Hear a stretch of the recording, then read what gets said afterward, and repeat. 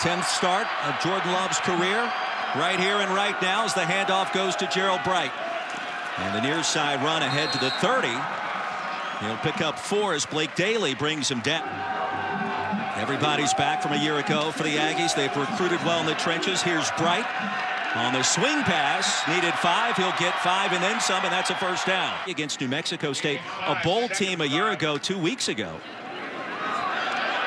And a quick give results in a first down on second and five. Gerold Bright picks up six. An inside, inside zone play.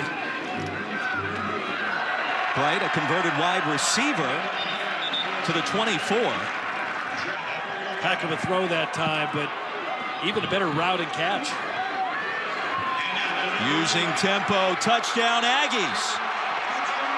Gerold Bright, his third touchdown of the season. A flag comes out late.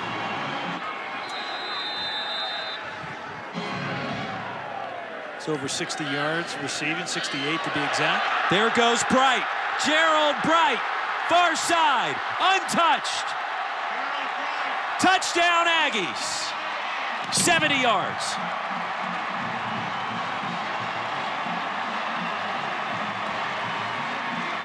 Three plays, 80 yards, 41 seconds. Just watch the right side of the line. They just get hats on hats, and it's more or less a zone read, kind of a zone concept